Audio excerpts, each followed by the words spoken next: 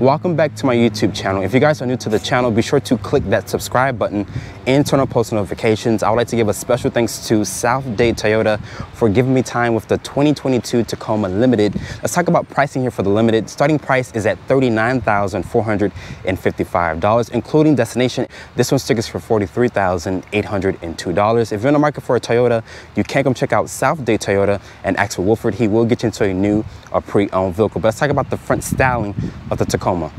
As you guys can see here, my model is painted in this army green. It looks really good with the chrome and aluminum finish here. As you guys can see here, also, my model doesn't have those cheap looking uh, halogen projector headlights. Toyota does give you full LEDs if you guys go for a top trim. That's also the sequential turn signal, just like on the new Tundra.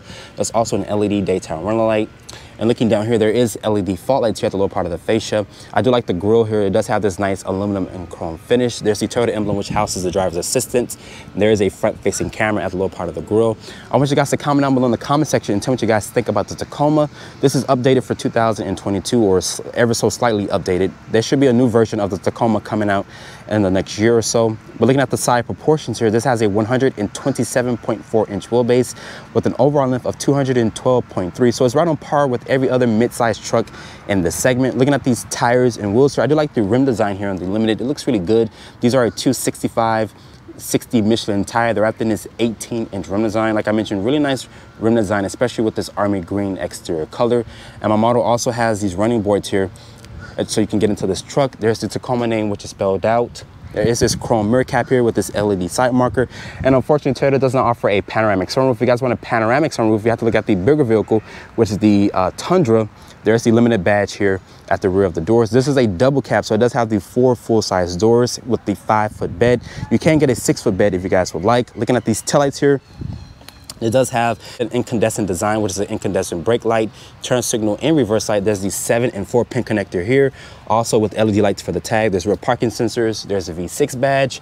There's the Toyota name here on the actual handle with the Tacoma stamp on the actual uh, tailgate here. And the spare tire lives underneath the vehicle also with the uh, tow hitch receiver here. Toyota says this can tow a maximum of 6,700 pounds. Open up the tailgate back here is a damp opening tailgate with this composite material. There's some storage here also with a outlet there. And this does have a payload of around 1,300 pounds. There's some tie, hook, tie down hooks back here also with some uh, tracks here so you guys can put a tonneau cover and whatnot.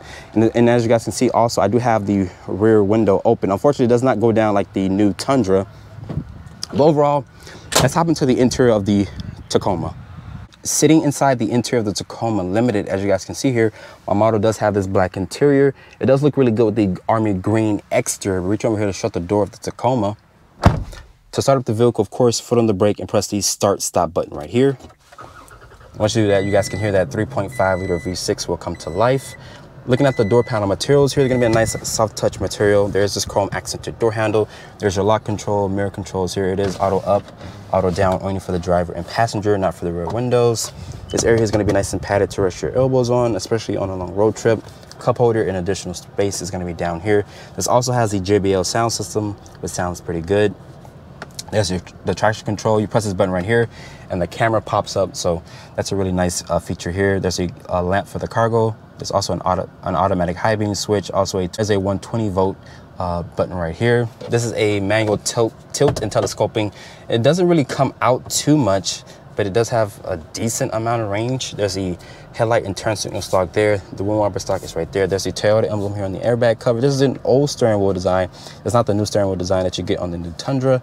This, air, this area is gonna be really nice. It's perforated leather. The materials on the dash are gonna be hard touch plastic there's an area that you're really not going to touch. Looking here at the display, it does have this small helper screen here. I think it's about three and a half inches. You can customize it by using this area here on the steering wheel controls. It does show you adaptive cruise control, messages. This does have collision warning, lane keeping assist. You can customize this to your liking. Over here is going to be the collision warning, lane keeping assist button. This is old Toyota uh, cruise control stock here the option to answer and hang up the phone. There's voice controls, your volume controls are here. Looking at this infotainment system, there's shortcut buttons on the side. This also has four air vents, as you guys see, as you guys can see on the dash. The materials here really quickly are gonna be a nice soft touch materials with the nice uh, stitching here. There's three level heated seats, but looking at the infotainment system here, it does have Apple CarPlay and Android Auto.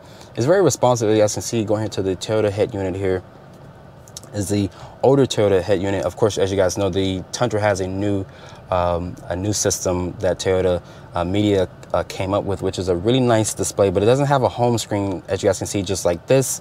But like I mentioned, shortcut buttons on the side. There's a volume and tune knob, hazard button. There's also have dual climate control. Down here is going to be for the blind spot monitoring, the ECT power, also parking sensors. You can also open up that rear glass via this control uh, down here. As you can see, it's power operated. If you go for a base model, I think we would have to open it manually. There's a USB. Also, my model does come equipped with a wireless phone charger. My iPhone 13 Pro Max does fit it was connected to the wire. Unfortunately, Toyota does not offer wireless Apple CarPlay. You have to go for the newer products if you want that. There's two cup holders here. Also, two more cup holders here. This is a current key fob that has the Toyota emblem on the back of the key fob. Putting the vehicle into reverse here. It does have a top-down 360 view, as you guys can hear. Uh, it does have rear parking sensors. And you click this area here, it does show you a wide angle here Putting the vehicle into drive. Over to the left, there's a sport mode in the transmission. Putting it back into park. Nice leather around the shifter here. This area is going to be nice and padded. It does reveal a decent amount of storage. There's a Type C and Type A port in there. The seats are supportive and comfortable. Um, the previous model of Tacoma that I reviewed, it felt like I was sitting on the floor instead of sitting in the seat. But for this one, it does feel more comfortable. Looking at the glove compartment, it does offer a large storage in there. And above me, there is the standard size sunroof. Unfortunately, there's no, no panoramic sunroof option in this current generation of Tacoma. The lighting is going to be LED. You also get LED in the rear. There is a sunglass holder here. Overall, the interior of the Tacoma does feel long in the tooth, but it does offer some nice materials and some decent tech. But Toyota is coming out with a new Tacoma, I think next year or two years from now, but it's definitely going to have a more nicer upscale interior for sure. Before getting into the back seat of the Tacoma here, let's open up the door and talk about the door panel materials. The materials are gonna be a really nice material, just like in the front seats. There's this chrome accented door handle. The switchgear does feel nice. Looking down here, there's gonna be additional cup holder and storage space. This area here is nice and padded. There is these running boards here to get into this truck. Pulling this tab right here, it does reveal some storage behind the back seats and lifting this up here there is some underfloor storage so you guys can put your work equipment and whatnot inside here. But getting into the truck there is no grab handle so you kind of have to use the door and whatnot to get into this truck. But as you guys can see here the space is kind of cramped just like every other truck in this segment. This has around 32.6 inches of leg room. There is one mat pocket for storage and there is no panoramic sunroof you guys have to go for the new tundra if you want that option. The lighting, of course, is going to be up here. I do have the rear window open so I can stick my hand out and let more light and air into this cabin if I would like, but it does not go down like the new Tundra or like the Tundra in general. There's two cup holders here also with a USB charging port. The floor back here is not flat, but you can fit a middle passenger back here. The seats are supportive and comfortable, so nice texture that Toyota uses here on the actual back seat. There is no armrest that folds down or anything like that. That's why Toyota puts the cup holders uh, in the actual door pocket. But overall, the back seat of the Tacoma feels like every other competitor in the segment. Let's talk about the powertrain specs here for the Tacoma. This uses Toyota's 3.5 liter naturally aspirated V6. This powertrain makes 278 horsepower and 265 pound-feet of torque. It is paired with an ancient six-speed automatic transmission. The other competitors do offer an eight-speed or even more gears compared to this Tacoma here.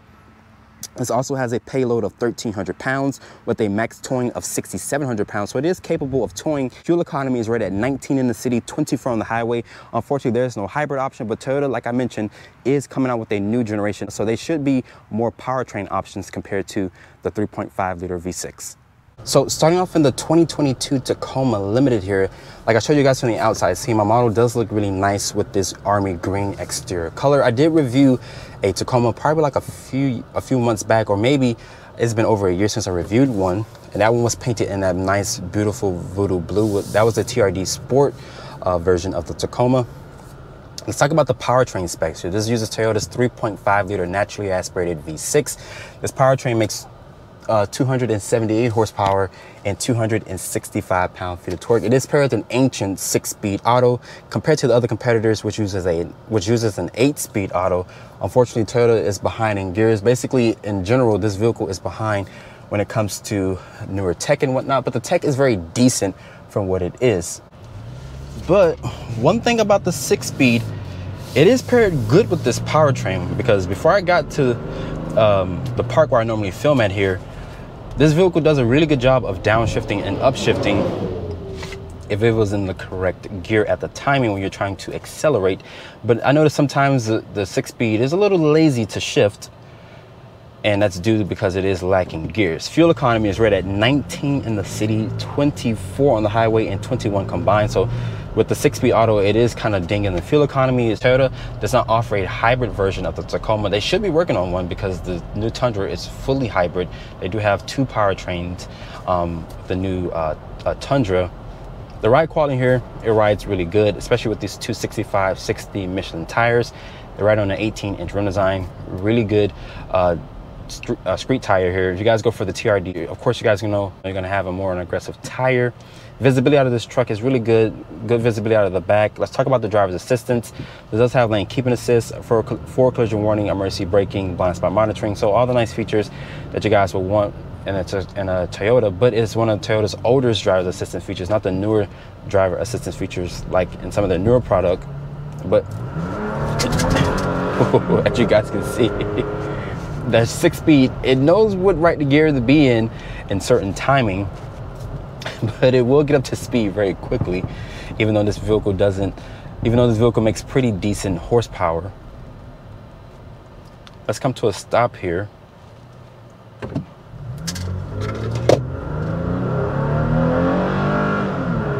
And this powertrain likes to rev around 6,000 RPM. So it's pretty good. It's a pretty good powertrain. Like I mentioned from the inside, seeing the tech is pretty decent. It's not class leading, but they, uh, Toyota is working on a new uh, Tacoma, like I mentioned. The steering feel in here is very playful. You can feel what the front tires are doing. Um, visibility, like I mentioned, is great does have three level heated seats. You can't get cool seats, I think at any at any price point on the Tacoma, I'm not, if I'm not mistaken. The seats in here, they're supportive. They're kind of comfortable in a sense. I did drive this vehicle over uh, 30, 40 minutes. Um, I kind of see myself kind of squirming around in the seats, but this is what the, the seats are not aggressively bolstered. This is not what the seats are for. But I wish Toyota would offer just a little bit more padding in the seats but this powertrain is bulletproof. Everything about the Tacoma is just great bulletproof. The six-speed auto is bulletproof. The powertrain, and like I mentioned, is bulletproof. The performance is pretty decent, but this vehicle does drive and handle very well, even though the steering is very light and numb. But this vehicle is a truck that's gonna last you for 20 plus years if you take care of it and of course, you guys know this as a Toyota, so it's gonna last for many, many, many years, like I mentioned. So if you guys are looking for a, a reliable and durable truck in the segment, the Tacoma does offer bulletproof performance. After spending time with the 2022 Tacoma Limited, hope you guys have enjoyed this review here. Be sure to follow me on Instagram at Drive On Reviews and hit that subscribe button and turn on post notifications. And I'll see you all in the next review.